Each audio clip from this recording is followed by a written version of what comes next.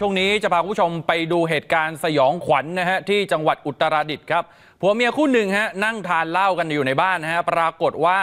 หลังจากที่กินเหล้ากันอยู่เนี่ยนะฮะฝั่งผัวครับเห็นภาพหลอน เหมือนกับว่ามีผีกระสือเนี่ยกำลังเข้าร่างภรรยา ผัวไม่รอช้าฮะคุณผู้ชมไปคว้ามีดในบ้าน ลักษณะคล้ายกับมีดปังตอ ฟันไปที่คอเมียฮะหลังจากนั้นก็ดึงคอเมียออกมา แล้วก็เดินออกไปหน้าบ้าน เอาคอของเมียเนี่ยไปไว้ที่เล้าไก่ ข้างบ้านฮะ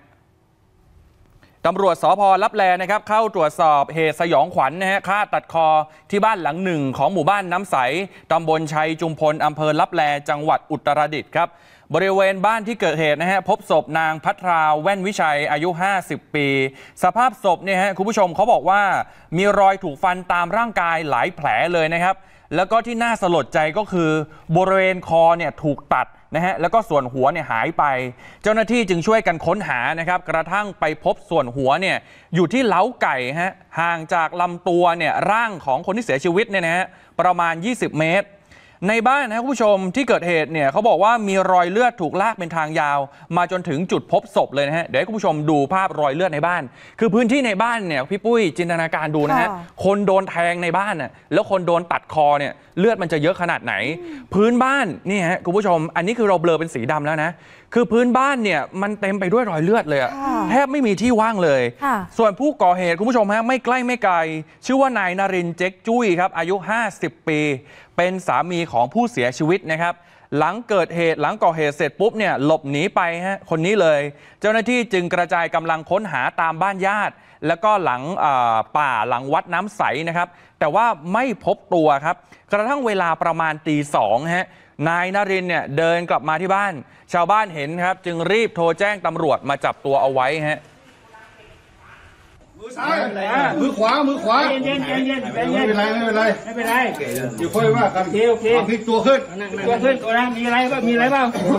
อันนี้เอาก่อนคนก่อนคนก่อนคนก่อนคนโตก่อนนะคนตัวตัวพลิกตัวนั่งลงมีดกองมีดไอ้มีดอยู่ตัดเลยพลิกตัวขึ้นพลิกตัวขึ้นโอเคนะนี่โอเคนะนี่นี่นี่มีมีมีตัดตัดไอ้เลยแกะแกะอุ้มตัวนั่งกับพื้นอะคือตัวนั่งกับพื้นเหยียดขา เนี่ยฮะคุณผู้ชมเป็นช่วงจังหวะที่จับกลุ่มตัวนายนรินทร์นะคือเขาบอกว่าเหตุการณ์เนี่ยจริงๆ มันเกิดตั้งแต่ประมาณช่วงสามทุ่มผู้ใหญ่บ้านเนี่ยเห็นคาตาเลย ตอนที่กำลังโดนตัดคอ แล้วตอนนั้นเนี่ยคือผู้ใหญ่บ้านด้วยความกลัวฮะพอเห็นจังหวะนั้นปุ๊บคือต้องรีบหลบมาก่อน คือมันอาจจะเหมือนในหนังไงที่แบบว่าพอตัดคอเสร็จปุ๊บอาจจะมา ฆ่าคนที่เห็นเอออ่าหลังจากนั้นหลังจากที่ตัดคอเสร็จปุ๊บก็หายไปหลายชั่วโมงครับ จนถึงประมาณเกือบตีสองโผล่มาฮะคุณผู้ชมเหมือนในคลิปตอนที่จับได้ แล้วเขาบอกว่าช่วงที่สอบถามเนี่ยนารินทร์ให้การวกวนนะฮะเหมือนคนยังไม่หายจากอาการหลอนนะครับแต่ก็จับใจความได้ว่าขณะที่นั่งดื่มเหล้ากับ ภรรยาเนี่ยนะฮะเขาบอกว่าเขาเห็นเหมือนผีกระสือเข้าร่างภรรยาเขาครับ หลังจากนั้นก็เลยตัดสินใจไปคว้ามีดฟันพันฟันภรรยาฮะจนเสียชีวิต แล้วก็ลากศพไปทิ้งหน้าบ้าน ส่วนที่ตัดคอด้วยเนี่ยเป็นเพราะว่ากลัวผีกระสือจะไม่ตายก็เลยตัดคอซ้ำฮะฟังเขาเล่าฮะกินเหล้าแล้วทะเลาะอะไรกันกินเหล้าแล้วทะเลาะอะไรกันเลยก็ผมเห็นผีกะผีพุงอะไรโอ้อ๋อเห็นผีกะผีอะไรเงี้ยนะผมก็ มันเห็นมันฆ่ากันเห็นมาเข้าเมียผมก็อ๋อเข้าเมียไม่เกี่ยวข้องออกไปก่อนโอเคอ้าวเข้าเมียก็ได้ดีเข้าเมีย เออไปผมก็เห็นเมียผมบ่เออผมก็ซ้อมเมียผมเจอเยอะๆเราก็ซ้อมเออคิดว่าผีอยู่ในตัวเออตัวเมียเอเนี่อยเออผมก็คิดว่ามันเมียเราไม่ตายนะเออเออเออแล้วเราไงซ้อมแล้วไง เอามีดไหนมามันเราเอามันก็บอกว่าผมก็ ผีนั่งแบบคล้ายพ่อผมอะไรเนาะเออเออผมเลยครับ ผมก็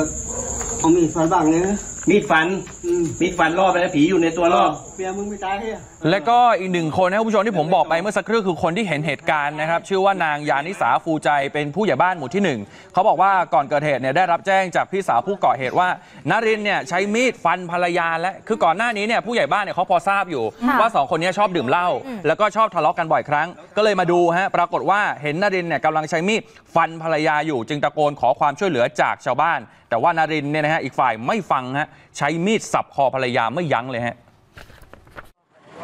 ได้ยินเสียงเขาฟันแล้วแหละแต่เราไม่คาดคิดว่าเขาจะฟันได้ขนาดนั้น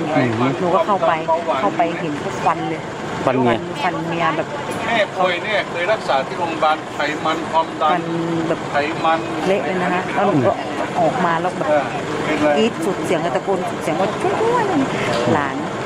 ของลูกพี่สาวอะเขาก็ออกมาลูกพี่สาวของคนฆ่านะ นั่นแหละฮะ ค่ะ คือคำให้การก็ยังวกวนนะพี่ปุ้ย เออคือตอนที่เขาจับได้เห็นไหมจังหวะหนึ่งเขาบอกว่าผีกะผีกะ แล้วพอฟังไปฟังมามันกระสือหรือเปล่าหรือผีกะหรือยังไง ค่ะเออคือก็บอกว่าผีกะเนี่ยจะเป็นผีที่แบบอยู่ทางพื้นที่ภาคเหนือเนาะครับ เหมือนกับว่ากลางวันก็จะเป็นคนแหละใช่ กลางคืนก็จะกลายเป็นผีแบบเนี้ยนะที่คะ เขาเรียกว่าผีกะเลียนาอ๋ออ่เออใช่นั่นแหละประมาณนั้นนะคะ ล่าสุดตำรวจคุมตัวนายนรินทร์เนี่ยไปทำแผนประกอบคำรับสารภาพ จุดแรกก็คือที่บ้าน ซึ่งสองผัวเมียเนี่ยนั่งดื่มเหล้าอยู่ด้วยกัน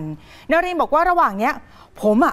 เห็นผีนะผีกะอันนี้มันมาเข้าสิงเมียผม ผมกลัวสิผมก็เลยเอามีดเนี่ยจ้วงแทงมันเฮ้ยก็ไม่ได้นับหรอกว่าเท่าไหร่ครับเออ ส่วนหัวก็ถามว่าเอาแล้วตัดตัดหัวเมียทำไม แกก็เลยบอกว่า เอา ก็มันแบบว่ามันเข้าสิงบ้านในในร่างของเมียผม ผมก็เลยต้องเชือดมันถ้างั้นเดี๋ยวมันไม่ตาย โอ้โหจากนั้นก็ลากศพไปทิ้งที่หน้าบ้าน แล้วก็แทงศพซ้ำอีกหลายครั้งนะคะ เพราะว่าผีมันยังไม่ออกจากร่างอืมต่อมาเดินเข้าไปในบ้าน แล้วก็หยิบหัวของเมียเนี่ยออกไปทิ้งที่เล้าไก่ ห่างออกไปประมาณ 20 เมตร และจุดสุดท้ายคือจุดที่เอามีดที่ใช้ก่อเหตุไปวางไว้ที่ตอไม้ใกล้กับศพนะคะ จากคำให้การของนรินทร์เพราะว่าน่าจะหลอนอยู่อะค่ะ คุยไม่รู้เรื่องเลยโอ้ส่วนยายก็จะพูดถึงเรื่องผีตลอดเวลาว่าผีมาเข้าสิงเมีย ขณะที่ผู้ใหญ่บ้านบอกว่าปกติเนี่ยจริงๆนรินทร์เนี่ยเขาเป็นคนเรียบร้อยนะ ไม่ค่อยพูด แต่ระยะหลังเริ่มมีอาการเพ้อเพราะอะไร เพราะเสพยาหนักโอ้โหคงจะหลอนแหละเออนะคะอัปเดต 34 HD App เวอร์ชันใหม่รางวัลใหญ่รออยู่นะคะ